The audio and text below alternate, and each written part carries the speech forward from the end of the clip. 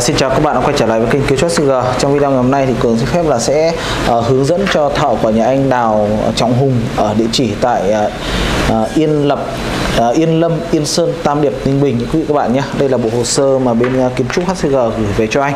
À, video này thì là mình xin phép là hướng dẫn tổng quan về cái cách đọc bản vẽ bộ hồ sơ bản vẽ của bên công ty cổ phần kiến trúc HCG cho anh cũng như là toàn thể gia đình nhà mình để cho anh có thể là nắm bắt và áp dụng được vào trong cái công trình nhà mình.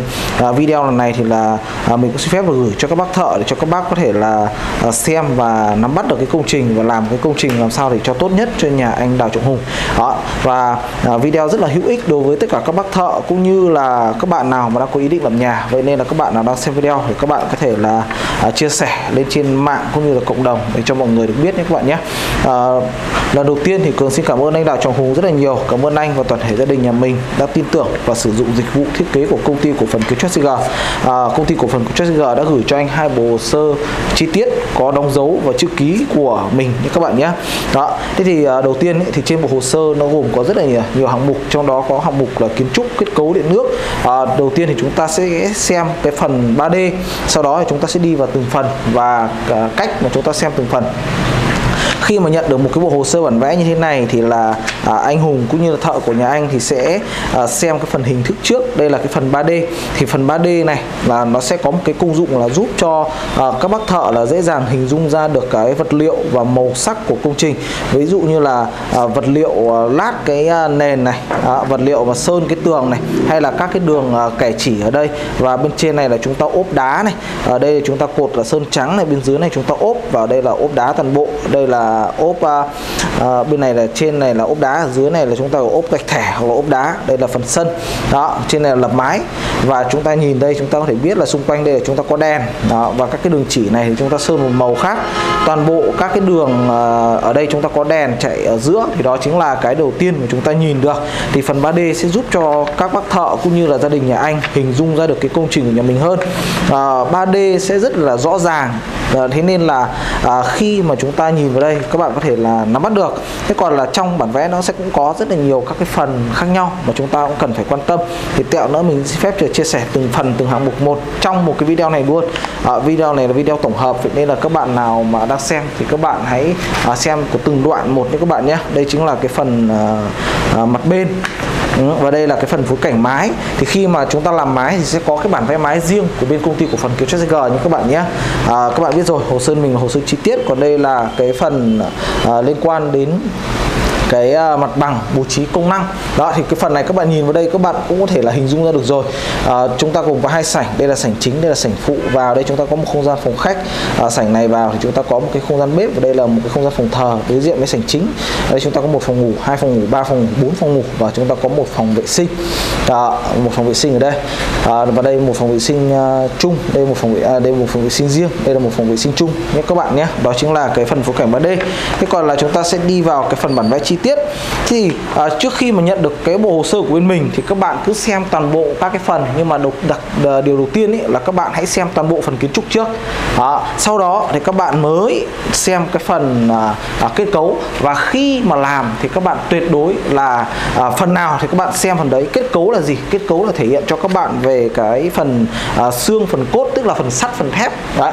À, các bạn cứ hình dung ra đó chính là như kiểu phần xương của chúng ta đó chính là phần sắt phần thép. Thì các bạn cần phải xem cái phần à, cấu kiện lên cái phần sắt thép đó. Thế còn là về cái bản vẽ của bên mình thì mình sẽ chia ra thành các cái hạng mục đó, như thế này tất cả các hạng mục một ví dụ như là à, chi tiết của cái phần mái thì chúng ta sẽ xem phần mái. Tức là khi mà làm phần mái thì các bạn sẽ dở cái phần mái trần này ra để các bạn xem.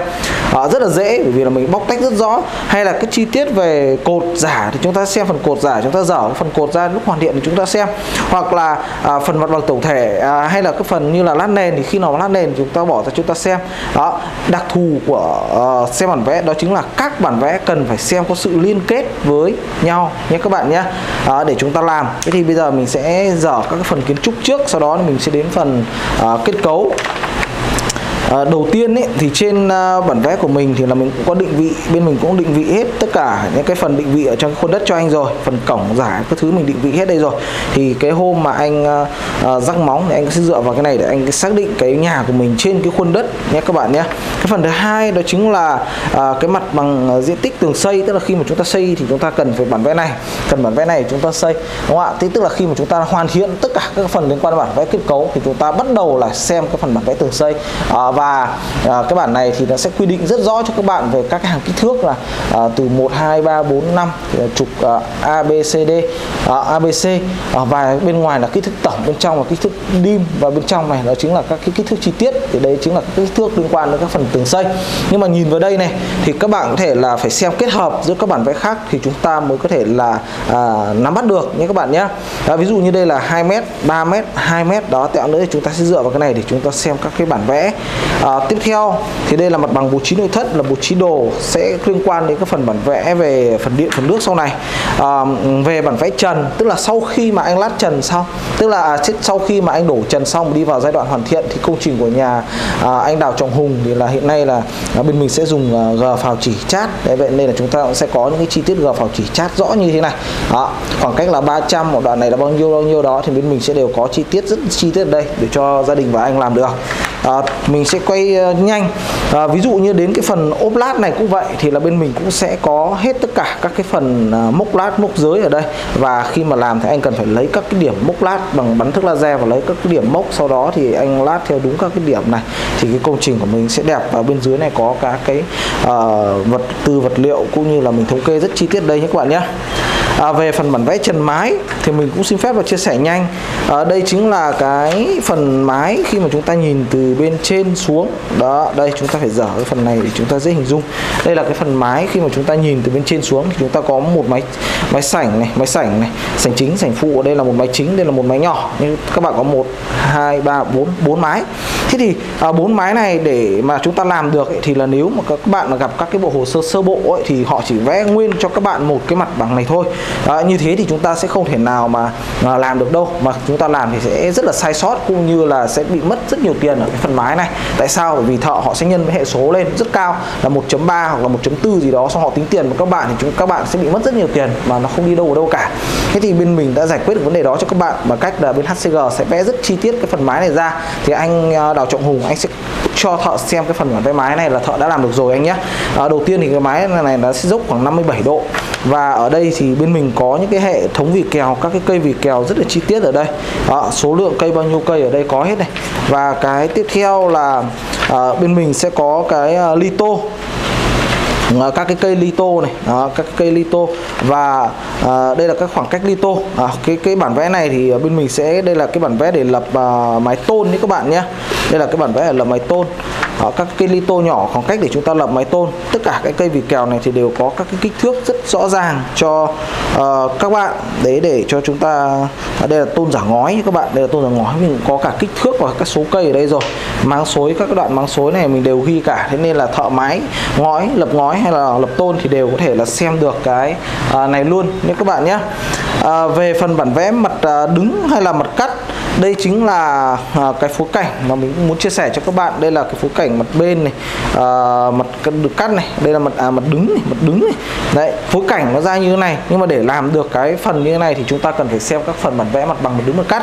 Vậy thì à, đối với phần bản vẽ mặt bằng mặt đứng mặt cắt tức là à, khi mà chúng ta đi vào giai đoạn hoàn thiện thì các bạn cần phải xem các bản vẽ này. Còn trong quá trình mà làm chúng ta phải kết hợp để chúng ta à, làm. Thế còn đây là mặt đứng mặt cắt thì chúng ta sẽ nhìn vào đây. Ví dụ như đây là một mặt đứng của cái à, mặt tiền đằng trước. À, thì uh, chúng ta sẽ bắt đầu dở này ra để chúng ta xem này. Có bao nhiêu cái mặt đứng theo từng cái trục một. Ví dụ mặt đứng trục một năm đó đấy chính là cái mặt trước của ngôi nhà. Thì chúng ta sẽ biết được rằng là 3 mét 2 mét 2 mét. Đó, và biết được cái uh, phần cột này thì chúng ta sẽ có những cái chi tiết cột sảnh chính xem KT501 tức là khi mà chúng ta làm đến cái uh, chi tiết sảnh thì chúng ta sẽ xem cái bản vẽ này hay là chúng ta xem cái chi tiết cửa sổ. Đấy thì chúng ta sẽ KT706 chúng ta dở cái bản vẽ KT706 ra. Các cái chi tiết này thì mình đều có ghi chú rất rõ để cho chúng ta làm. Thế thì tại sao lúc nãy mình nói là bản vẽ cần phải xem có sự kết hợp với nhau? Thì đây đây chính là 3 mét 2 mét 2 mét này. Đó thì chúng ta sẽ biết được à đây là 3 mét chiều cao của cái đoạn này là bao nhiêu thì chúng ta cần phải dở cái phần bản vẽ mặt bằng này ra. Ví dụ như thế này à, à, đây chính là cái phần bản vẽ mặt bằng. Thì các bạn nhìn thấy đây là số 2 không ạ? Đây là số 3 đây là số 2 vậy thì mặt đứng các bạn cần phải xem có sự kết hợp. Đó đây số 3 mét này.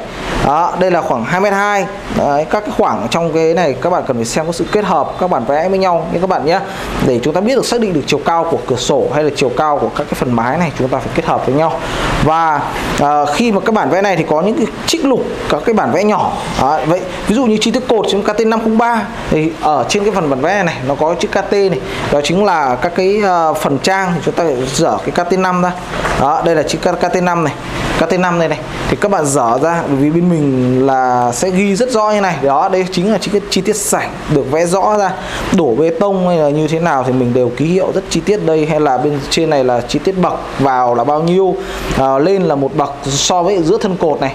Đó tức là cái cột sảnh này là sẽ thụt vào một bậc này. Sau đó thì các bậc ra là một mét hai này. Đó như thế này rất chi tiết ở đây rồi. Ở đây là chiều cao của của cái máy sảnh là à, 3 mét hai này. Thế thì từ những chi tiết này là mình cũng sẽ phải biết được rằng là à cái chi tiết cột mình phải xem bản vẽ nào.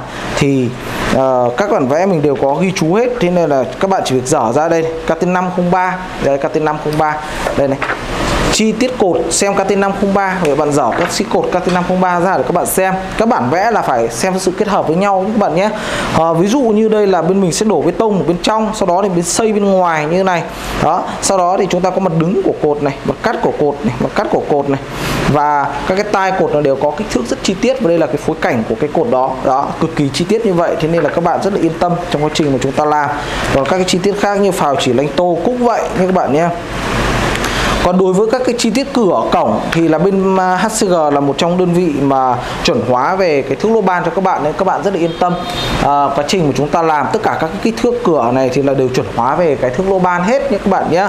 Và à, D là đi còn S là sổ. Còn đây là chiều cao là 800 đó thế thì à, các cái này thì là tuyệt đối là nếu mà đối với cửa gỗ thì chúng ta có thể là kích thước khuôn hoàn thiện vào như như giống như kích thước của mặt cắt à, mặt à, mặt cắt mặt bằng. Còn đối với các kích kích thước cửa mà sử dụng uh, khung thép thì là kích thước hoàn thiện bằng với lại cái kích thước của phần tường xây. Chát vào phải đạt kích thước này nhé các bạn nhé.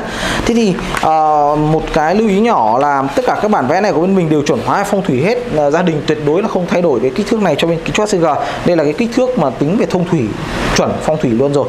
Thế nên là gia đình không được ờ, phép thay đổi cái kích thước này nhé các bạn nhé.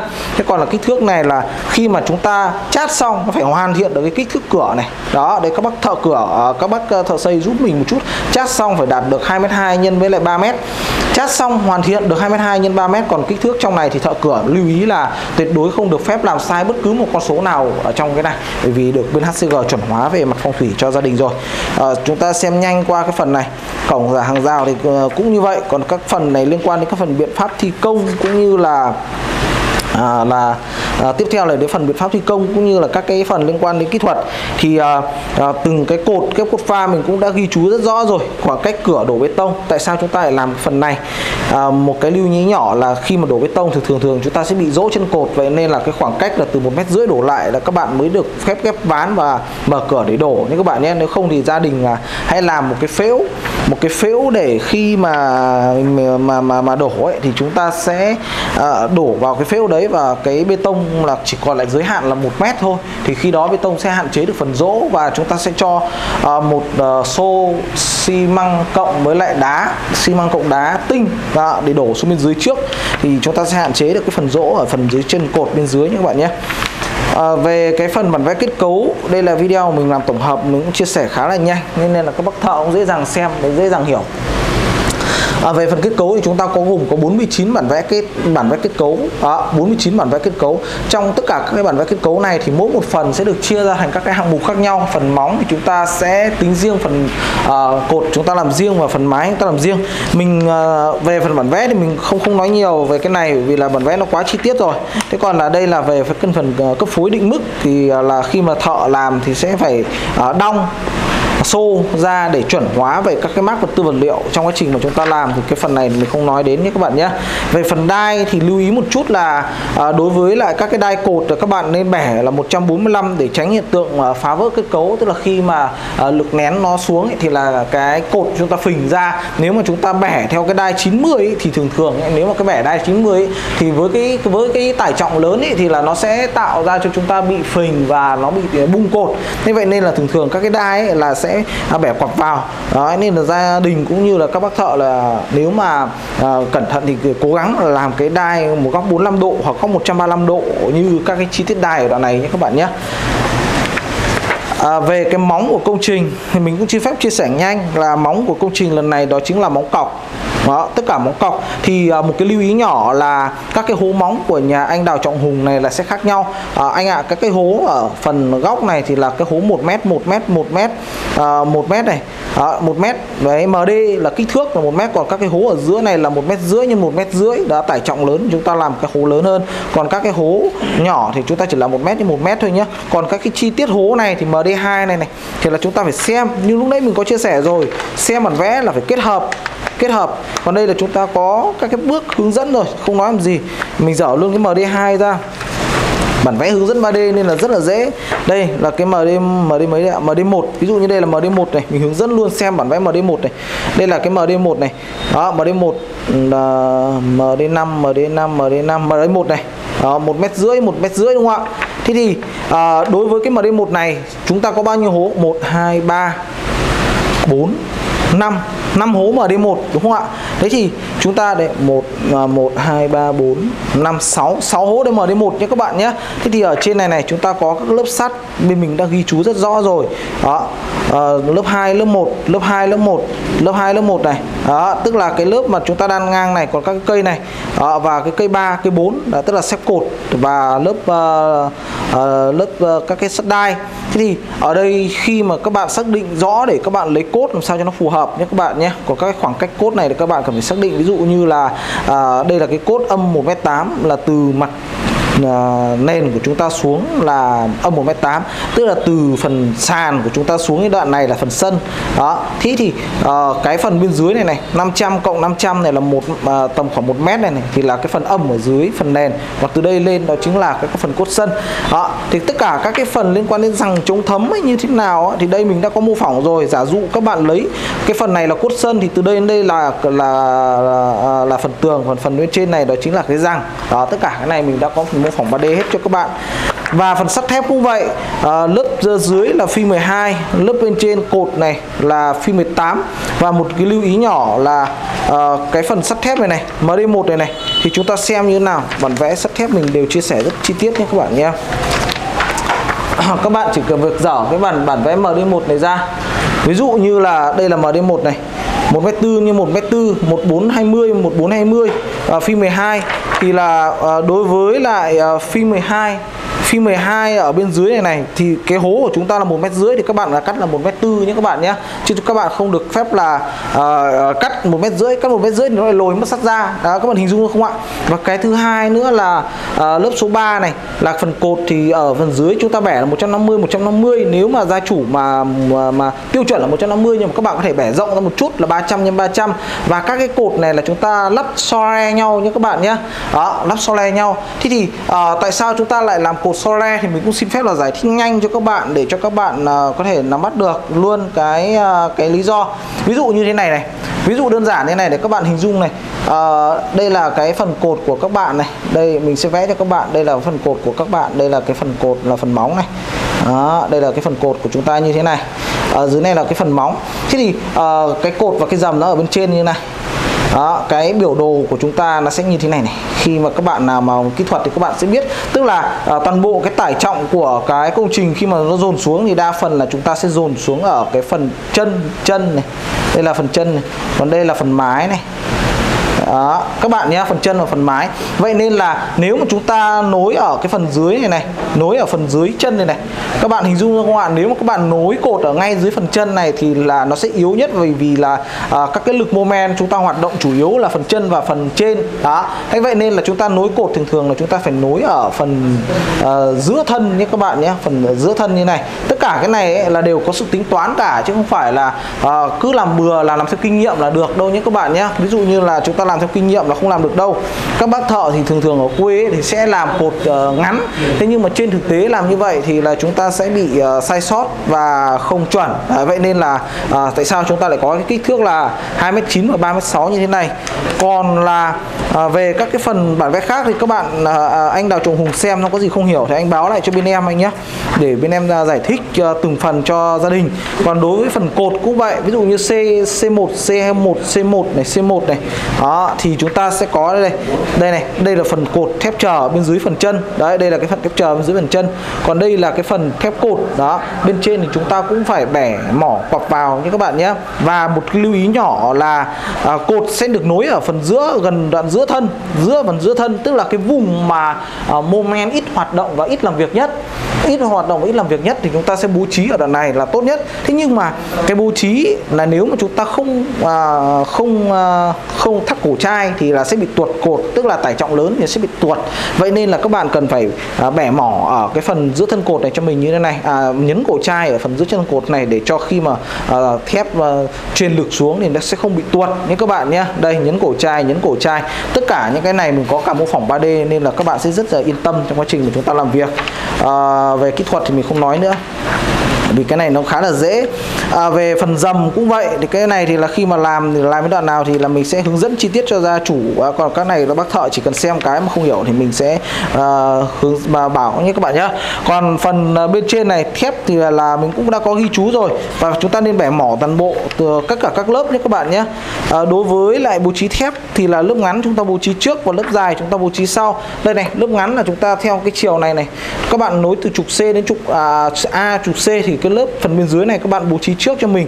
Toàn bộ cái lớp ngắn các bạn bố trí trước và lớp dài các bạn bố trí sau. Đây là lớp đầu tiên. Lớp thứ hai thì các bạn mới in lật ngược lại cho mình nhé các bạn nhé lớp dài chúng ta bố trí trước và lớp ngắn chúng ta bố trí sau.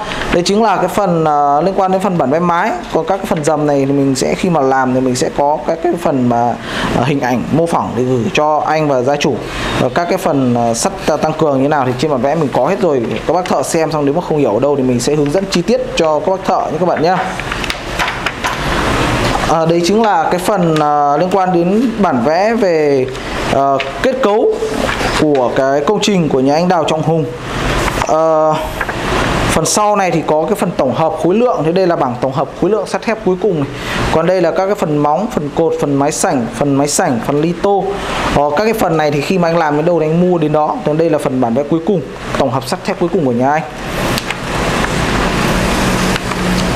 Ờ, đối với lại à, phần bản vẽ điện nước thì không có gì cả phần bản vẽ điện nước thì nó khá là đơn giản không không, không có gì hết ừ các cái ổ cắm này anh này thì tất cả các cái ổ cắm thì là bên em đều bố trí và làm việc với anh trước rồi. Thế nên là cái khoảng cách các ổ cắm này uh, anh lưu ý cho các bác thợ là đi uh, ống từ trên xuống thì là uh, phần ở đầu giường thì là cao 1 m 0.6 phần ở xung quanh nhà thì là cao 0.45 hoặc là 0.4 phần ổ tivi là 0.6 đó tất cả cái phần ổ bóng ở đây thì bên mình đều ghi chú rất rõ cho gia chủ nhé các bạn nhé phần điện nhẹ thì chúng ta lắp hai cam. Có thể anh bổ sung thêm cam ở trong bếp và trong nhà phòng khách nữa là bốn bốn mắt. Bốn mắt thì chúng ta sẽ quan sát được toàn nhà hơn, đúng không ạ? Thế còn ở đây thì bên mình đang à bên mình đang làm ba mắt. Một mắt đằng trước này, hai mắt đằng trước, một mắt ở bên sành phụ. Đây là phần điều hòa, không có gì đó Ờ, ok.